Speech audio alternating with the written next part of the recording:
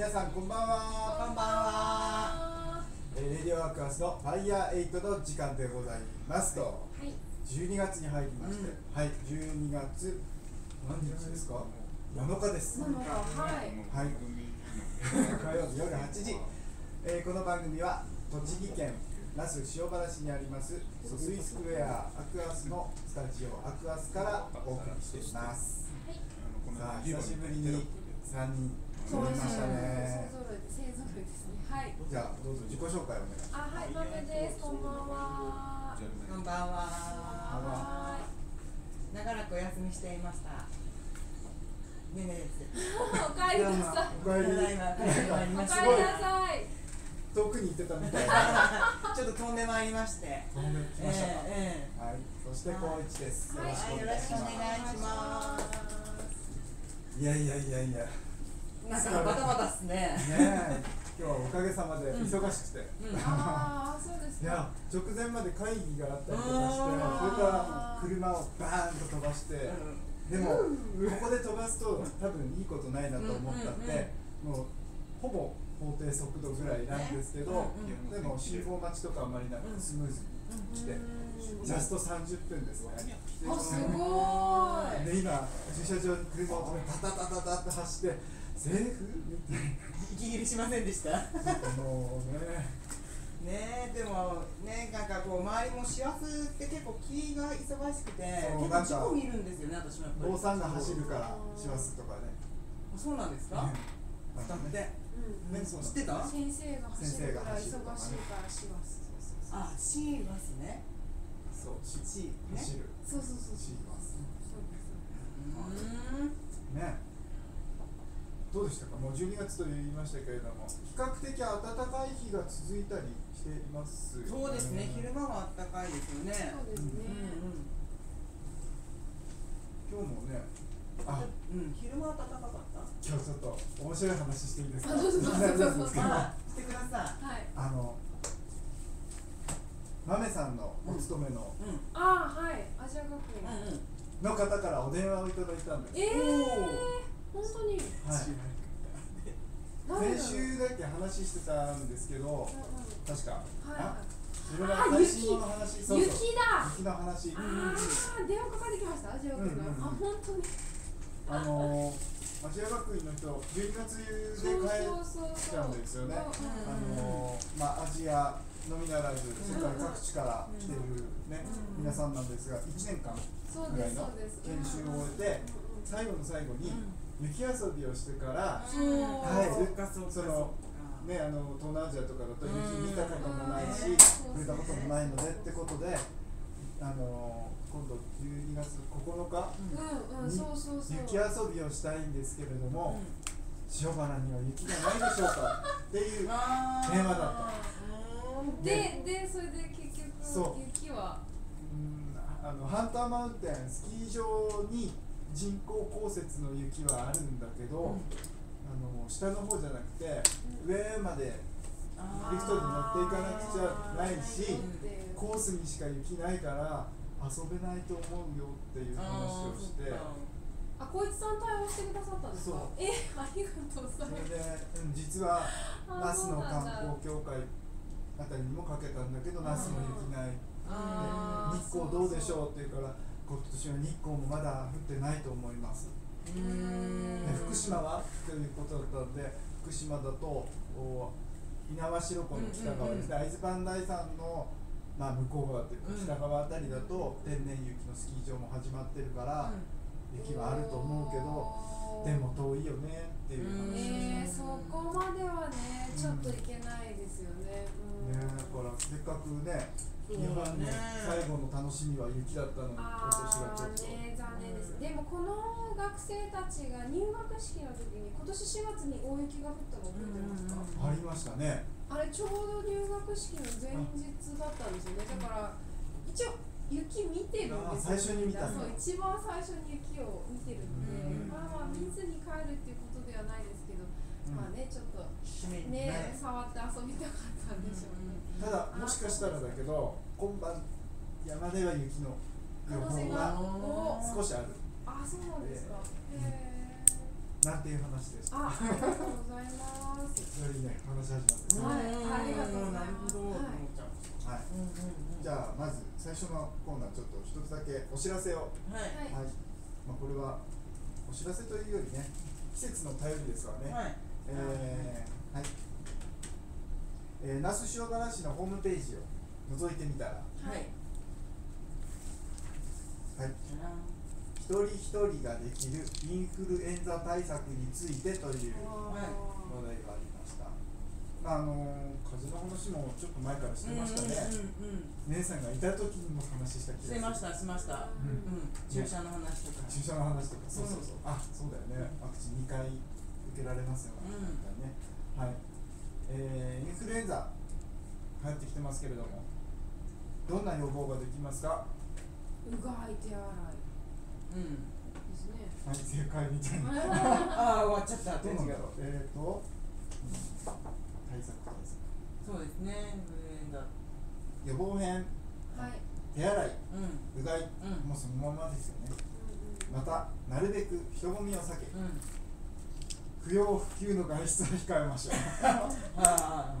あとは十分な栄養と休養をとって体調管理に努めましょうんうんうんそうだねう。ただやはりあのかかってからじゃなくて予防するためにマスクっていう人も結構いますよね。特にあの人混みに入る方なんかはマスクをして、ね、出かけるとかですねそういった方も結構多いかと思うんですけうんどね。うんうんうんなんか口の中が乾いたりするのも、こうあのわインフルエンザとかそういう風邪の菌が入りやすいとかって言って、あーなんか飴とか舐めてる方が唾液を出してる方がいいとかそうだね、うん、乾いちゃったりするうん。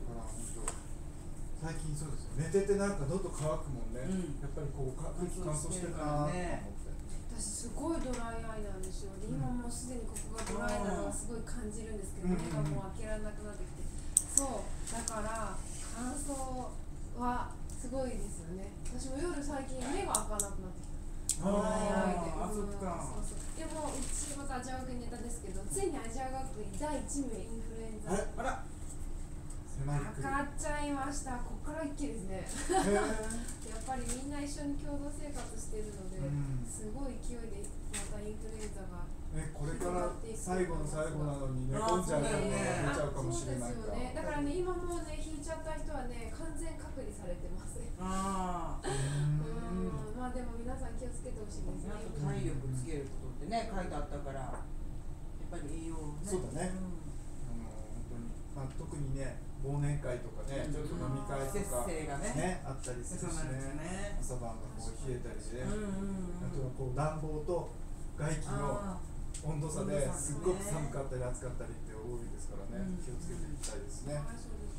はいもうねかかったなと思ったら早めの受診を、ーうんそうだね。これは私自身にもですけどね、うん。うんいつも大体我慢して我慢して我慢してあもうダメ病院とか行くともう反応出ないけど多分それはインフルエンザだったんじゃない？とかって言われる。え毎年かかります？そうでもないですね。ー引き始めが反応が出るのかしら？うんそうそう。もうだから熱が出てもうその時点ですぐ行けばいいんだけど、うん。もうちょっと寝たら大丈夫かもしれない。し風邪頑かもしれないからとかってねね寝てるうちにうん悪化しちゃったり、でもあの昨年ですね。からまあこのアクアスもうん。昨年の7月からねやってますけれども私あのトムさんとうんですね、番組を組んでた時に、うがいの話をしていて、うがいをの仕方うん。なんかあーじゃなくてここまでおーってあの喉の奥を開くようにして口はちょっと閉じたぐらいで回すように、うん。うってやるといいよって言われてそれをやったら昨年は風邪とかひかないし、この配信もね順調にできたんですよ。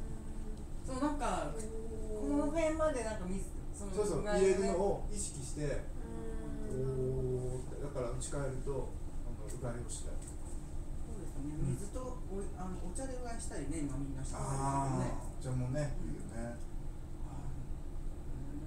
まあ、そんなことでね、インフルエンザ対策気をつけてほくださいということで、ホームページを開きますと、え栃木県と那須塩原市とかね、チラシがね、あのファイルで開くようになってますので、ぜひ参考にしてみてね、あください。となんかインフルエンザの相談窓口もあるみたいなのそうですね。あの保健所、まあ健保健康福祉センターとかね、えー市の保健センターなどでも相談をね、うん。してくれしてくれてるね相談窓口になってますということなので、はい。はい、ぜひ参考にしてみてください。ということでお知らせでした。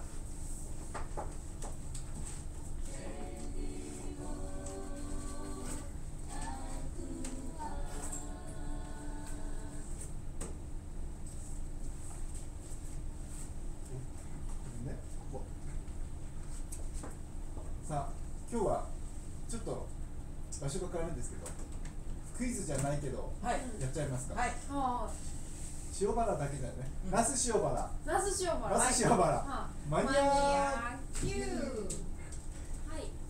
怪しいです。はい。今日はあの振りだけでクイズはありません、はい。今日はですねあのーマニアックなところは出したいと思います、うん12月といえば準備をするもの来年のご挨拶は何でしょうかそのまま言っちゃってもそのまま言ってください。季節の挨拶。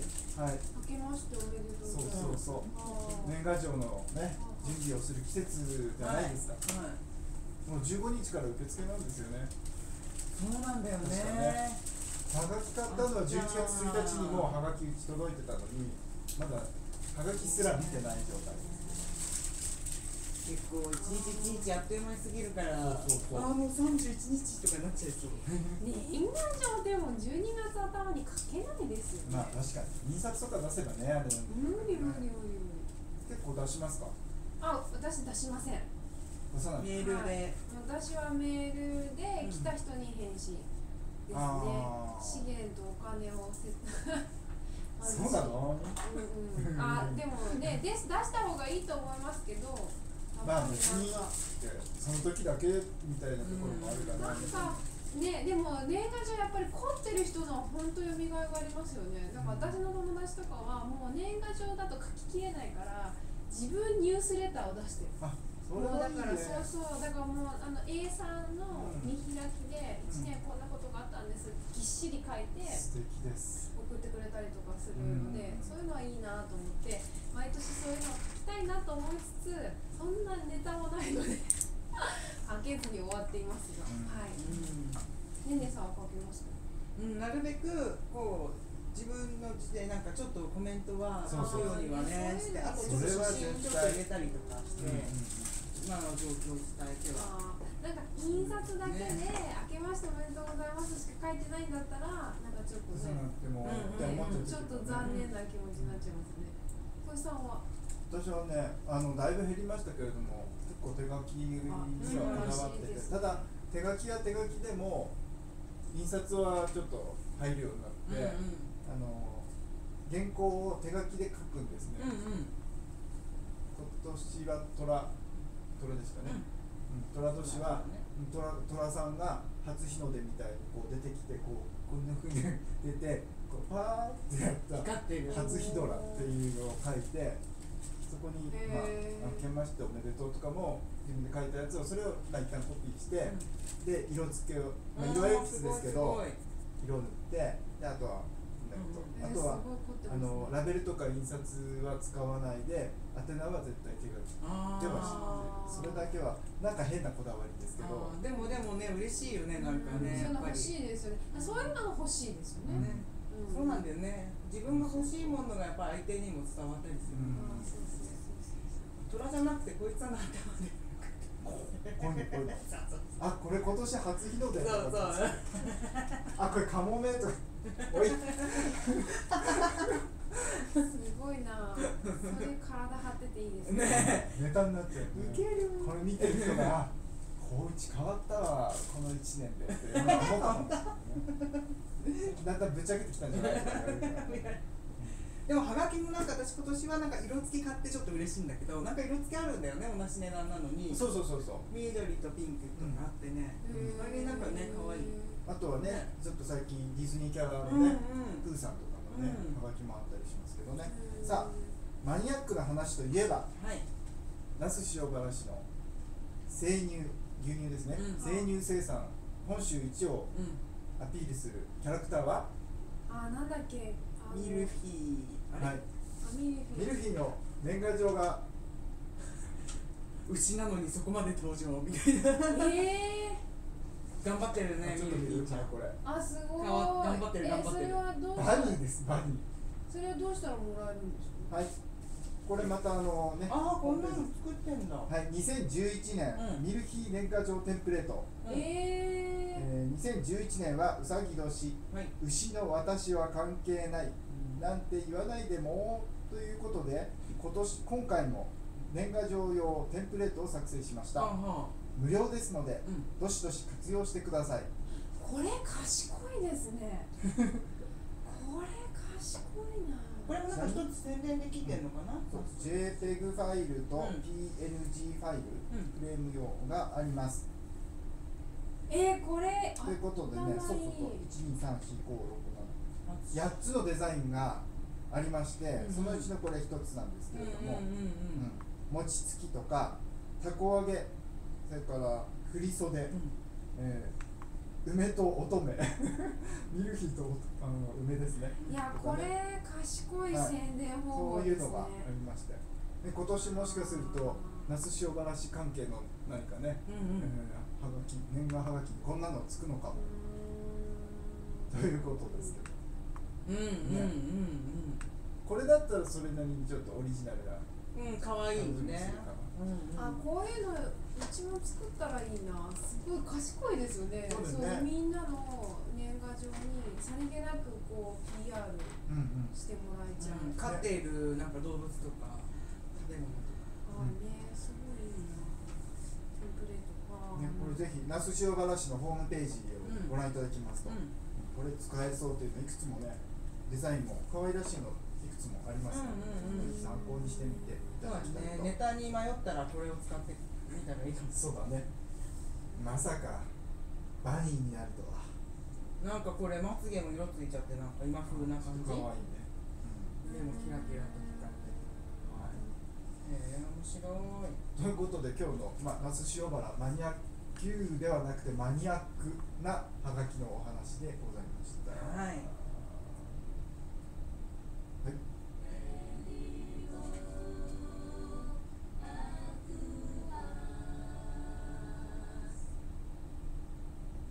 じゃあなんか前半私ね突っ走りましたけど、はい。ここで一曲、はい。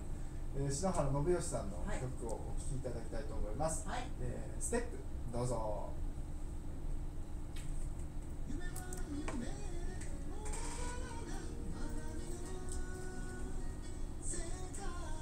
ありがとう、そうさ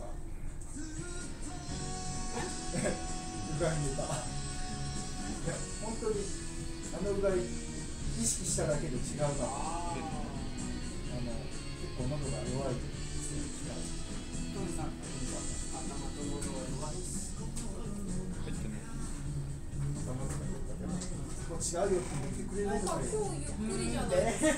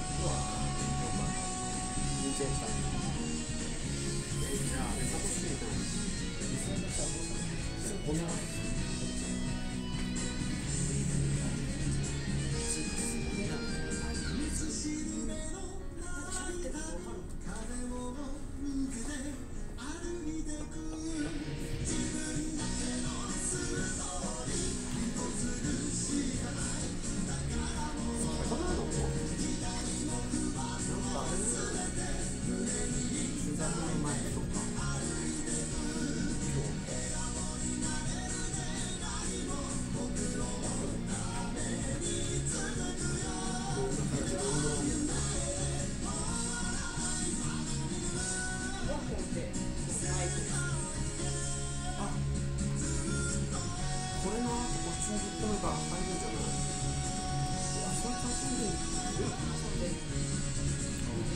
えじゃこっちが見るもしあれだったら今度入るえーとそしたら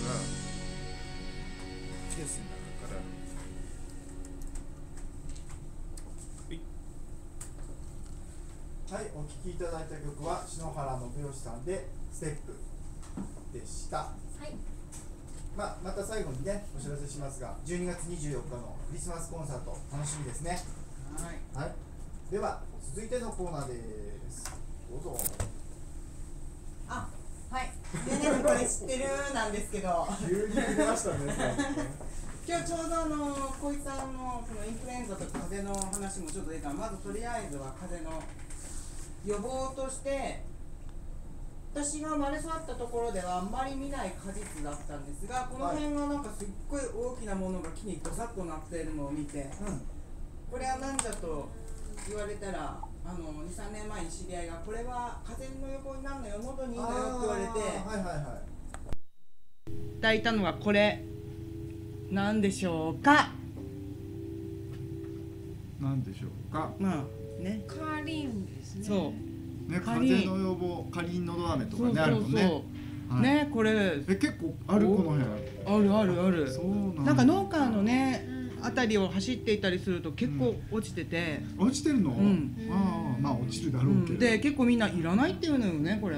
かりんって本当みんな使わないのにいっぱい生えてますよね。そうでもこれってすごいこうなんかぱりなんか私一時聞いたことがあるのは、冬のこう冬に出てくるフルーツとかねフルーツっていうのってすごく生命力が強いって言われるじゃない、うん。あの1年の通してゆっくりと実がなってようやくほら冬に食べれるりんごだったりとかはいはいかりんだったりとか。でこれすごくこう匂いもねいいから家に置いとくとすごくいい匂いしてするんですよね。うふーんとこうあ。かりんの、こんな匂いなんだってぐらいうん、実は触れたことない、そう,、あそうですか、うん、うん、そう私はこれね毎年ちょっとあのー某言われるプルーンのエキスでつけるんですけど。どんな味になるんですすかごいあのかりんの風味とですごいフルーティーで美味しいんですけどあとお酒ね作る人とか私も今日ネットで調べたら果実酒、うん、ホワイトリカーと、まあ、このかりん56個とあの芯や種も入れてほし入れた方がいいんだって。そうの種のあのぬるぬるこれぬるぬるする種種が入ってるんですけど、うんうんそれがもうそのいいこのかりんのエキスを引き出すのでかりんの成分。あ種もやっぱり種っていうのはねーうん。こうね子孫繁栄のものじゃないけどこう、うん。やっぱりその周りにはそう。守るためそ美味しかったりするんだよね。わ種も入れてまあうん。お好みでお砂糖入れたり蜂蜜入れたりして2ヶ月程度で飲めるようになったりとかうん。あとジャムもねなんか作れるみたいだ。しちょっと調べられなかったんだけれども、うんうん、やっぱりなんかかれかりんは咳や喉にやっぱり炎症にすごくいいってであと香りだよね。うんううん。ん、なんで結構この時期ねこう作っておくとお酒なんかでも一年中ちょっと楽しめたりねちょっとこう寒いなと思ったらかりんでもちょっとね。あアルコール消毒？みたいな。体を？みたいな。あ体を？のはなんちゃってね言いながらこう飲んじゃう？みたいなね。ねいいですよね。うん、でもね手作りするとやっぱりあの梅酒とかもたまに私つけるんだけれども、ややっぱりなんか美味しいんだよね。自分の味とかあって、ではい。はい結構ね楽しくみんなに出すと喜ばれたりするのであの意外と身近にあってうん。風邪予防もできるのであとね作るの面倒でもちょっと置いとくだけでももしかしたらこの匂いにも少し成分があるのかななんてねアロマみたいなね。寝室とか、うん。うんなんかね、うん。あれかもね。こう果実ちょっとフルーティーななんて言うんだろう。うん。柑橘系の匂いしません？少し若干ね。柑橘系ってほら元気の出る。いね。落ち着くような感じでもあるし、うん、なのでなんかちょっと、あのもったいないなと思ってう、ん去年は私かりんの木なんて家にないのでかりんのなってそうな農家に駆け込んでいって「かりんください」って言っていただいてきたんですあそうなんだ。そんな話を聞いた友達が「あうちの近くにかりんあるからもらってきてあげるよ」と、うん、あのね。恵んでいただきまして。集まっちゃうんだよね。そう。でもすごく助かって美味しく飲めたのでまたねそういうのもう、ん、飲んでみるといいんじゃないかなと思いました、はいはい、でかりんの話をしつつ、しつつ、うん、私はあの皆さんラジオをやっていただいていた中にちょっと逃亡してねあのどっか行ってきたの？はい行ってきたの。あったかいところに？写真送ろうとしてたんだけど、うん。一応なんかねちゃんとこうできるようにはなったんだけどあのあ繋がったの？は繋がったの、うん、なんか電波が届かなくていつも。遅れずじまいな感じでいてしまいましたが、ねえもう待ってたのにそう。ね 本当ねあらっつう感じで、まあまあね。っていうことで、ねなんかお土産の話もあるのかな？あお土産もちょっと持ってきましたけ持って持ってきた、ん。話？でいいよ話？話？いや意外とね混んでるのね飛行機の中。みんなこの時期に行くんだと思うほど今まだみんな分かってないと思うけど、うん。どこ行ったんだろう？あのよく冬になると行きたくなる。あなんかこうよくお正月に芸能芸能人が行く。常夏の国？ええ。ワイっていうところでね。ワイハにはい。ちょっと。そうなんです。ちょっとお友達が住んでいるのもあってね。あの行ってきて、うんうんうん。ちょっと妹とかたちとも一緒に合わせて行ってきたんですけど、うん。うんうん本当はねな羽田から行きたかったんだけども羽田はまあもう混んでて混んでてね成田から。ああ行ってきましたね混んでたね新ターミナルがそうね。ね。まあでもね自分も含めみんなよく時期外れに行ってんなと思いながらね、ああまあそうだよね、うん。この後絶対混み合うからね、今がチャンスと思ったらみんな行ってた。そうそうみんな行ってたみたいな意外と行ってたはいで結構あのーまあ私がよく見るところバリアフリーなんですけど、うん。まあやっぱりすごくバリまあねあのーアメリカとか他の国からもそういうね人たちが来るのでバリアフリーがすごくしっかりしていて、ね、やっぱりこの意識がみんなちょっと違っていてやっぱりちょっと車椅子の家族がいるので、うんうん。ちょっと困ってるなと思うとドアを開けるのでその人が通るまで待っててくれたりとかあとこうバスとかにしてもちゃんとこうリフトがついてるバスであったりとか、どん。優先優先ってそういう形ですでねね。なんか常にそういう意識がなんかやっぱりあるなっていうのが、うん。思いますね。またね気候も暖かいからきっとみんな穏やかだったりとかね、うんうんうん。うんしますがあの食べ物で私面白いなと思うあっちマグロ食べるんですよね生のあそうなん、キとかっていう料理でうんうん私もこっちでたまに作るんだけどなんか安いまあそんなにまあまあなマグロを買ってきぶつ切りのやつ。でごま油と塩と、う。ん、塩であと好きに醤油ちょっと入れて。うんでまあ辛いのが好きな人はちょっとね唐辛子を入れてうんうん。振りかけたりして。それをね食べるんですよね。うん。で着いた時はなんかそれを買って食べたりして、うん。あとはまあ海に入ってる人もいたし。うん。あったかいんだろうねうん。なんか日本人がやっぱりね言葉通じるしあとやっぱり日本人が移住してってる国だから、本当。うんうん。日本に対してもねそうですね。好意的だしうんうんねそうそう。うん。なんかねあの面白いことがあって。あの私がちょっと違う方で急に急な買い物をしなきゃいけなくなって妹と姪っ子も一緒に行ったので、うん。こうフードコートでお座りして待ってたんですね、で妹もちょっと本当はダメなんだけどちょっと席外しちゃって姪っ子がこうポツンと座ってたら、んうん。座ってた。そししたら日系の3世のおじいちゃんがね、うん。話しかけてくれたらしくて、うん。まあちょっと片言の日本語ででやっぱり日本人の女の子が懐かしかったのか、うん。うん、なんかいろいろ話してうん。5ドルお小遣いもらって、お小遣いお小遣いまでくれてすごいねとか言って。うん。やっぱり日本人だけど、まあ、あんまり日本語喋れないにしても、うん。なんかそういう懐かしさがあったみたいね、うん。日本人の子供を見るとね。可愛いお子さんだったんでしょまた。うん。もうそうそう私にそっくりで。そうでしょうねはい。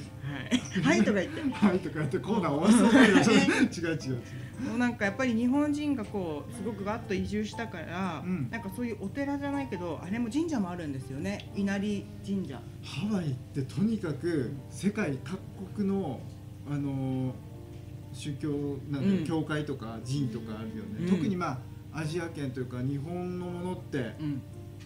日本この辺で探しても見つからないような寺院とかいくつもあるでしょ、うんうん。うん。そう、うんお寺があったりとかね。あれはすごいびっくりいろんな、ねあれは何々教あれは何々教何々教なんてねうん。聞くよね。やっぱりね、まあ、どこにいても私たちやっぱりちょっと日本にいるからあまり貴重さを感じなかったりするんだけどやっぱりちょっと離れてみると、あやっぱり日本のものってやっぱりみんなやっぱり日本人だから求めてたりとか、うん。まあ、そこにね集まることで交流だとか、ここうん。に安らぎだとかですかね、うん。やっぱり助け合ってあのコミュニティができてたりとか、うんうん。やっぱり和食持っていくともう懐かしくて喜んでもらったりとかね。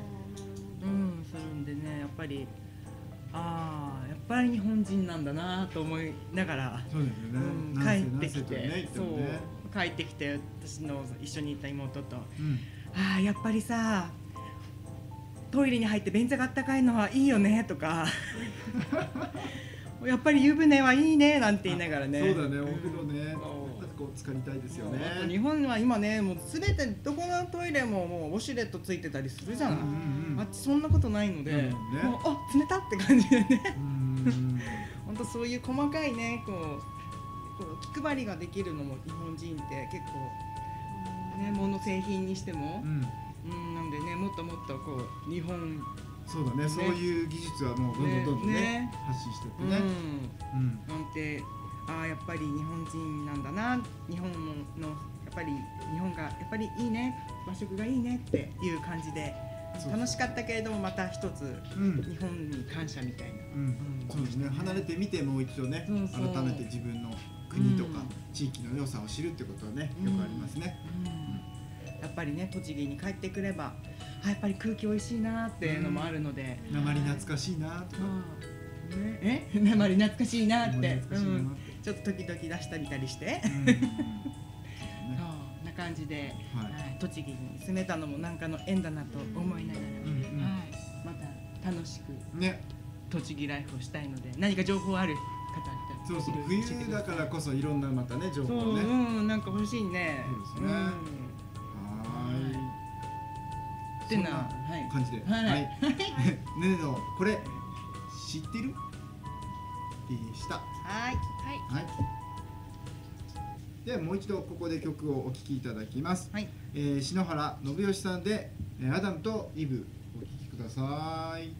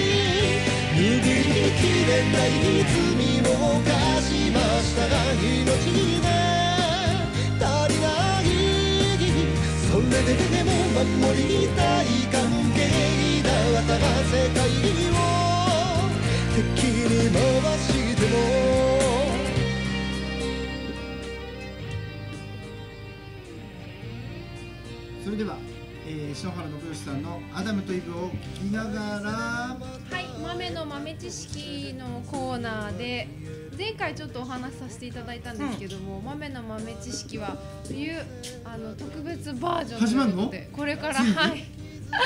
ついには 発酵発酵の発酵食品について。もうすごいんだよ。私発酵物大好きなんですよ。多分日本全国に発酵食品好きってすごく多いと思うんですけど、うん味噌とかもそう。そうそう味噌でしょ？そう。味噌醤油甘酒納あ豆もう本当にいろんなものがあると思うんですよ。お漬物もそうですし。で発酵食品ってこの前も熱く語ったんですがやっぱりまず作るのが楽しいんですよね。なんかブクブクしたりこうなんかあの自分け込んでどんどんこの微生物の力によって、まあ、まるで生きている、まあ、生きてるんですけども、ね。本当に目をあの毎日楽しませてくれる、どんどんどんどんその様子が変化していく様もこう愛おしいというか、はい、そして食べて美味しい。そして体にもいいということで、発酵1年生ということでですね。発酵食品を、まあ、最近なんですけどいろいろ作り始めたはいそのルポについて皆さんとちょっと共にうん。うんうんあのお話できたらなということで今日は納豆。納豆。第1回目。はい。日本人ですね。はい。発酵1年生まずは納豆をテーマに。はい。えーとちなみにお二人は納豆はお好きですか？好き好です。きは好き。はい、はい。お作りになったことは？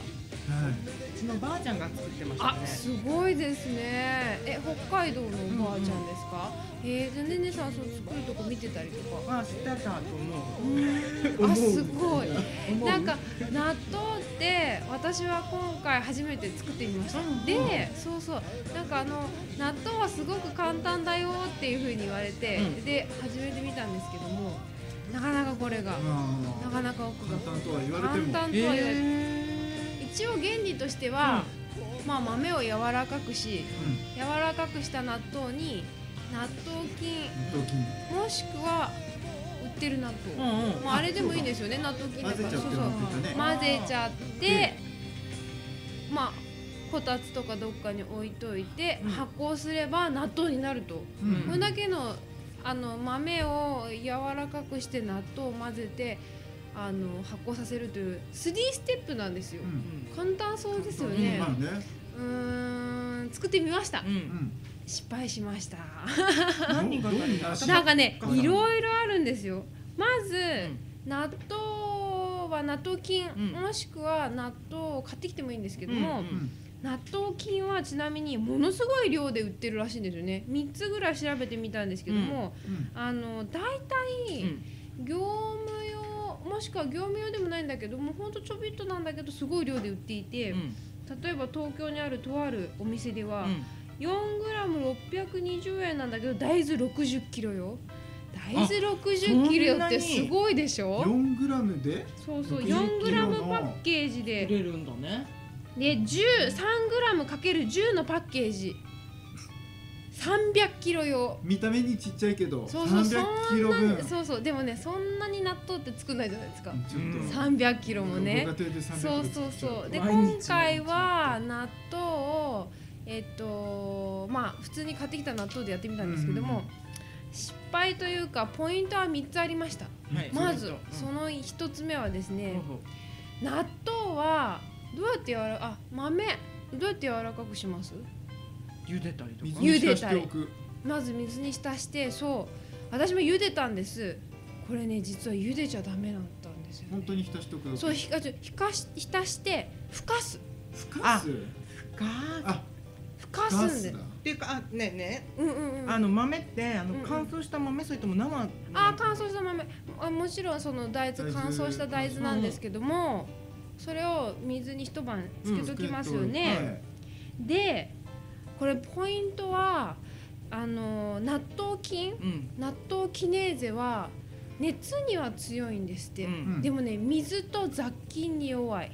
これを知らなかった私は。だから水茹で水にしちゃうと水分がどうしても多くて多くてそうそうそう。で私ね本当に水にしたやつに入れてガーってかき混ぜたらなんか白いふやけたなんかぬるぬるしてるんだけど納豆の匂いが全然しない、うん。なんかこう真っ白いすごいそうそうそう 納豆の味全然しないね。なんかねちょっととろっとした、なんかこう液体のようなネバネバしてるようななんだかなんだろうこれはっていうものが、うんうん。ちょっとぬるぬるした煮豆みたいのができちゃったんですね。うん。それはなんでかというとまずはふかさなきゃいけなかったんですって。うん。あそれは私の友達の納豆名人に聞いた、納豆名人に聞いたんですけど、うん。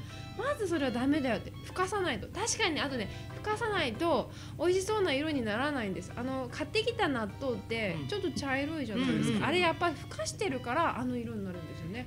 普普通に水にしてると真っ白い納豆になる真っ白い納豆でまたこの大豆にもちょっとこだわりを持たなきゃいけないなってことを気づいたんですけど、うん。私普通の大豆でやったんですよ。普通の大豆って結構膨らむと大きくなるじゃないですか、でそれでやったらものすごいやっぱり大迫力のでかい大豆のそうそうそう。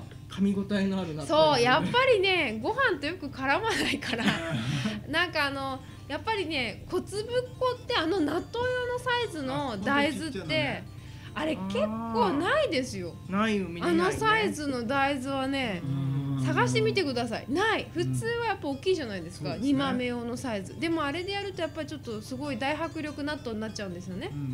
でも、ま、豆作る側から言うとこんなちっちゃい豆はたくのも大変だし選別するのも大変だしものすごい大変な豆なんですよね小粒粉納豆を食べるためには、うん。あそんな苦労もちょっと感じました。だから大大きいのでやるんだったらあそこで引き割り納豆っていうものができたんだなと思ったんですよね。引かないとやっぱりこう、うん、細かくなってご飯に絡まないから。ということでやっぱり大豆選びももうすごくポイント納豆を作るためにはね。そう大豆選びですね。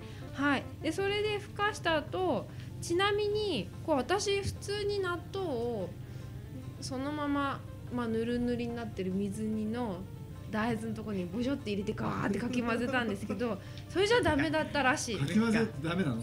それじゃダメで、うん。なんかあるレシピによると納豆5粒ぐらいを容器に入れてそこに熱湯？うん。熱湯入れるんですって。それポイントの2つ目なんですけどそう熱湯入れていいの？とにかくね雑菌を防ぐことが大事。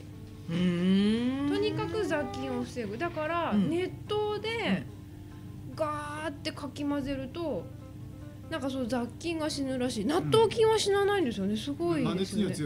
そうそうそう。だから雑菌だけ殺してそれをそのふかした大豆に混ぜるんですって。だからそうそう使う容器もねすごい気をつけてくださいって。私何にもしないで何にもその殺菌とか全然しないで普通に容器の普通にスプーンでガーかき混ぜてたんですけどそれではダメだったらしそいやっぱりれぞれ煮沸なりの。そうそう。だからやっぱりやっぱりあのーダメだったんですよね。全然。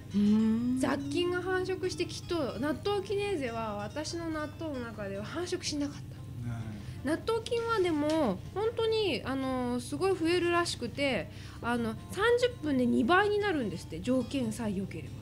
だから本当にちょっとでいいんですよ。本当にね5粒とだからか5粒でもうわ10粒とかでわさわささなるらしいんですけどそうならなかった。うん。それは私の範囲の2つ目ですね。であとはやっぱりさあ3つ目は温度です温度ね管理だね。温度管理。温度管理は温度はだいたい40度から42度今はねまさにこたつがありますから。こたつであそう？そうこたつでやってみてくださいっていうことでうん。だいたい15時間ぐらい経つと糸が出てくるんですって。うんで24時間経ったら冷蔵庫に移すのがいいと。でねうん。私ね置く場所が全然良くなくてあのーやっぱこたつつけっぱなし電気代もったいないなと思ったんですよ。であの車の中って車の中って日中すごい暑くなるじゃないですか。熱くはなる。ね？うん。で私きっと車に置いとけばすごい暑くなるんじゃないかなと思ったんですよ、うん。だからこたつの代わりに私は車の中入れといたんです。うん。ちょっと毛布みたいのくるんで。うん。全然ダメだった。夜は夜夜も忘れてたんですよ。夜ね でもいじけちゃったねそうそうれ。だから夜は忘れてて でもねその辺はやっぱり手間暇を惜しんじゃいけないんですよね。車は確かに違うだろうってそうそう。でもなんかやっぱちょっとね電気をそこで使うのはなんかこう悔しかったんですね。うん。発酵のために電気かと思って。でもまあ次はこたつを使います。次納豆を作る時は。でもはいということで水。うん雑そうなんだ菌、ね。殺菌、殺菌。温度。もう1にも2にも殺菌らしいです。うん。殺菌殺菌。だからでもね発酵物は発酵物はなんていうんですかね。その発酵臭なのか腐敗臭なのか、うん。その結局アンモニア臭がしてくるかどうか。そうそう。で匂いでね嗅ぎ分けなきゃいけないからどんなもの完成してて大丈夫なのかどうなのかっていうのが難しいところですよね。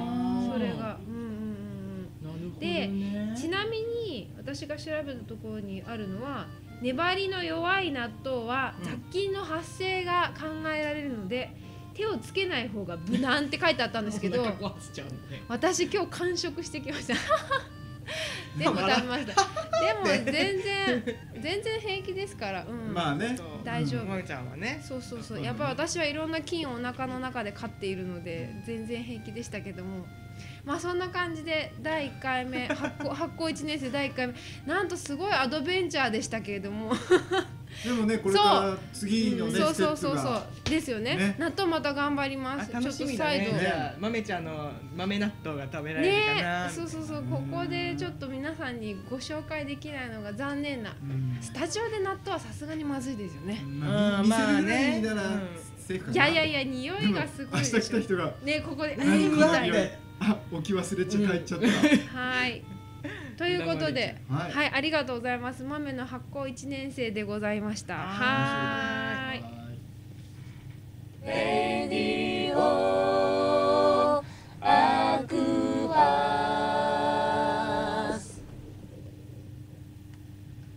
さあそれでははいチャットの会話はい。今日は10分おたっぷりたっぷりなんかいろいろ。知ってる？私たちチャットの会話何分やって20分やってたんだよ。毎回20分やってましたね。誰のあい？やいやいやいやいとか楽しかった。楽しかったですね。もうね楽しいですよ。毎週ね。うん楽しかった。さあ今日も20分とか言ってね最後の2分ぐらいで時間が足りないぐらいになああすごいすごい。ってきてあじゃあやめようかみたいそうそうそうそうそうやってました。はい。なね。ということで、ははいい。いくつかあるね。はい。なんとなんと美味しそうなネタがたくさん。これはまた登場ですね。はい。はい。なんと。大好評につき。バじゃん。バーン。延長。延期。またまた。12月9日の木曜日、はい。えーこのアクアス。ソスイスソスイスソスイスクエアアアクアスの。多目的キッチンはいカリノですね。限定メニューで、はい、えー、高山さんちの高山さんが、えー、なんだっけ？シェフ。日シェフの替わりシェフ。ナス豚ステーキ丼。そ温玉スープもついちゃって。う700円。ですね。はい。えこれから美毎毎週木曜日高山さんなんですね。あなんと毎週木曜日高山メニューが食べられるって、ねなんかすごかったらしいですよ。先週第1回目で。2日にね。そうそうそう、はいでなんと12時半に次に準備してた50食全部完売でして。あー。50食ってすごいですよね。うんもう僕はえそれ以上準備していけばもっと売れたんじゃないですかっていう話をしたらいやもうあれ以上は限界だって、うん。なんかね今日来たらねなんか痩せたっぽいような顔しててねうん。なんか痩せたんじゃないなんて痩せた。すごい。でもここで ここで50人って50食ってえどんなお客さん来たんですかって言ったんですよ。そしたらいやもうずっとこうやって焼いてたからもう誰が来たか全然分かんなかったって言って。うんうん。でもあの11時に一番最初に来たお客さんはトムさんだったって。それだけはさすがだ。さすが。さすがですよ。ねそうそうやそうそう。ね。さっそさっそうと現れたのはうん。トムさんでした。ね。はい。それしか覚えてないらしいお客さんは。あいらっしゃいって下向いた瞬間からもうあとそうそうそう次から次からそうでも多分今回も50食だと思うので、うん。早く来ないと売り切れちゃうよっていうことでした、12時半に完売しちゃうんだから。もうどんの時に並んでなきゃね。そう今度11時には来といた方がいいです何時からオープン？11時。11時。11時だって。行列のできるカリノがすごいよね。すごいすごい。いやお昼に50食ってすごい。すごい。ほんとすごい、とうん、思います、びっくりしました。はい。素晴らしいあー毎週木曜日が楽しみになりですましたね。ね楽しみですね。ねでもう一つはい、はいじゃーん今週になりました。ははい。あーもうねカレーフェスタですね。いカレーフェスタです。見えるかしら見えるかな？今週ですね12月の10日10日。金曜日から12 12日ですね。はい。日。曜日の3日間ですね。春サリアン高山さん家でカレーフェスタです。そしてなんと5時あ3時からか。3時から日曜日だけ。12うん。日曜日最終日のね日曜日3時からは、まあ、忘年会っていう形でね,、ですね。してますけれど大忘年会大会です。会じゃないか。大忘年会。大会。はい。あのね日中はどうしても来られないという方のためにはい。3時からね、えー9時まででしたっけ？8時。8時8時頃まで。8時頃。ゴロゴロゴロですね。あのカレーも食べていただけます。はい楽しみです。はい、えーこちらはね、えー高山さんちのホームページなどでうん。詳しくは確認いただきたいと思います、お願いします。はい。そしてそしてこれもね、えー今月ですね、えー音楽かけております篠原信義さんはい。のクリスマスコンサート。若干12月の24日クリスマスイブですね那須野ヶ原ハーモニーホールで、えー午後6時30分開演。えー前売り券が2500円当日3000円ということで、まあ、現在好評発売中でございます。今ねイルミネーションも綺麗な、うねんそこすごい綺麗ですよね。ね私たちとも会えるかも。いやあるかも。かも。かもかもです。はい。私のスケジュールには入ってます。ね楽しみですね。ね。さてどうぞ。はい。スキー場がオープンしました。前もう？ん。ううん。というかねあそうそう。雪降りましたよ。えどこですか？塩原塩原私の家。えー、じゃあみんなで見に そこに見に行けばいいじゃないですか。もう溶けました。あもう溶けちゃった、えっとね12月の4日の朝。えー、やっぱ寒いんですね。え塩原とここと何度くらい温度違います？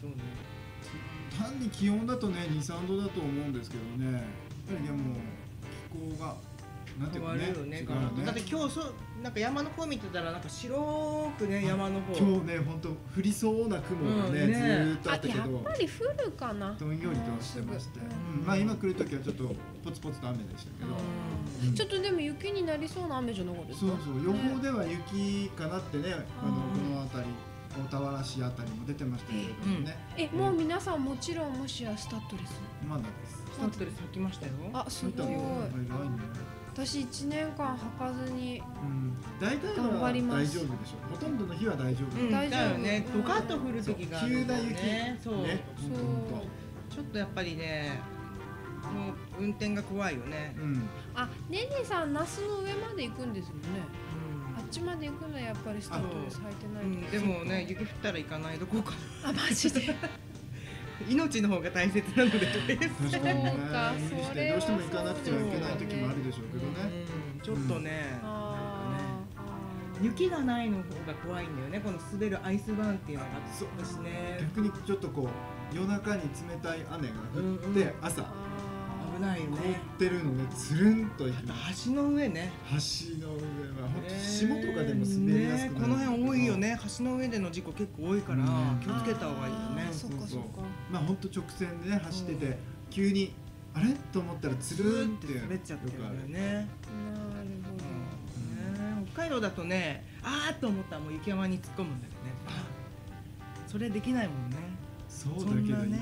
雪ないもんね。山だってさ結構雪って強いよねペコってこそうそう。でもほら他の車にぶつかると大変だからあーと雪だったら相手の物騒にならねないからそうそう。アイスなるほど。なるほどね。うんワイルドなうん。感じで。なんかアジア学院で雪を見に行きたいんだったら、尾瀬まで行けって言われましたね。ああちょっときつい。行くまでがちょっ尾瀬まと危ないよねなんかね。遠いね。尾瀬までは行けません。ちょっとね。そうことでまあでも今週12日うん。にえっ、とはいなりあの卒業式があって、うん。そこからはい、もう12月の15日には全員帰っちゃうんです、あらこの間来てくれたあー二人もう帰っちゃいます。なんかちょっと寂しいね、うんやっぱりね。すごい寂しくなりますね、うん。で私は13日と14日成田空港に送り送っていくんですね。送っていくのでうん。ラジオはお休みなんですけれども、うんうん。はい。まあ本当にもうこれから空っぽになっちゃいますね。ねとても寂しい、すっからかんな、はい。また来年の出会いに向けての準備と。そうそうだね。またね、はい出会いがあるもんね。入学あじゃあ卒業式えっ、と今週の土曜日のえっ、と1時半からはいアジア学院の食堂恋の庭というところで行われるんですけども、あのオープンですのでもしいらっしゃりたい方がいらっしゃればはい。ぜひお見えになってください。卒業式はい見ることができるんですねあのーそうですね。まあ普通の卒業式なんですけども、うん。式後はあのアジア学院のお茶があ。お茶とコーヒーとはい。いっぱい出ますので、はい、沢会があって楽しいですね。テうん。ィーパーティー、うん、なのでもしよかったらぜひそちらうに、ん。はい。はい、遊びにいらしていただければはい。と上手にしまったところでと思いますはい、はい今週もさよならの時間がやってまいりました。おおあっという間の1時間。ね。はい。なんかね喋、り始めれたっていうの。もうこのままカウントダウン的にねあの配信もバタバタバタっとねうん。来年に向けた準備も進めているところですけどね、うんうん。えー風邪ひかないで頑張りましょうね。はい、はい。ということで、えー、那須塩原市の疎水スクエアアクアスからお送りしました、えー、レディオアクアスのファイヤーエイト。この辺でお開きとしたいと思います。それではまたお会いしましょう。さようなら Lady O, aku